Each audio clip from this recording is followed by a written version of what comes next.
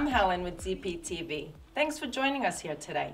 Today, we are here to talk about screenings, exams that could potentially save lives. In specific, we're talking about coronary calcium scoring.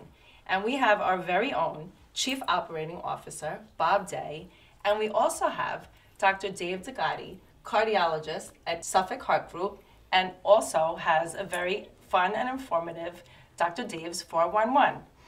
So, Dr. D'Agate, I've heard a lot about this coronary calcium scoring. There's a lot of buzz around it. What's important about it, and what's it all about?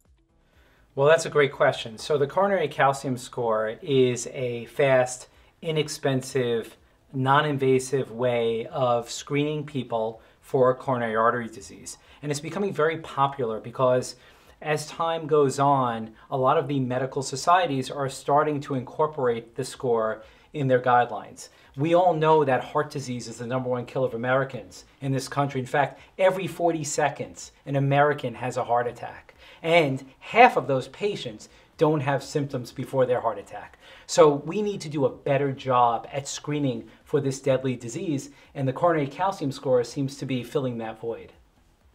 Learn more about coronary calcium scoring? Um, coronary calcium score is becoming popular, so there are uh, various resources, but um, you can contact your local physician. You can contact uh, myself at the Suffolk Heart Group, or you can go on to our dynamic and fun uh, Facebook and YouTube channel, Dr. Dave's 411, where we talk about the coronary calcium score and how to remain heart disease free. Yeah, you have to catch it. It's really funny. Thank you.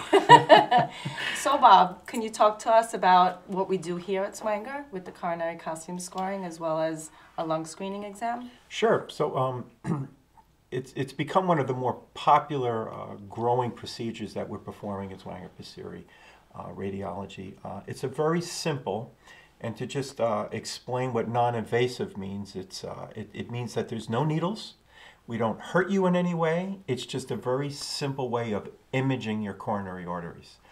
Um, basically, it's nothing more. We use a CAT scan machine. Uh, so there's a very low amount of radiation that we do need to generate to create the picture. But it's as simple as uh, lying on a table, and we're going to uh, place four electrodes, just like if you ever went to a cardiologist or your general practitioner and had an EKG, it would be very exact same thing four electrodes with a wire that will kind of go up over your head and will place you into the scanner. And we're going to actually just perform two pictures. Each one of those will be about a 5 to 10 second breath hold. So you go into the machine and hold your breath and you'll very quickly come out. We'll take a look at your heart rate. We'll put you back in and we'll image through your lungs and your heart to create the images. Wow, that was very informative. Well, thank you, and we'll be right back with ZPTV.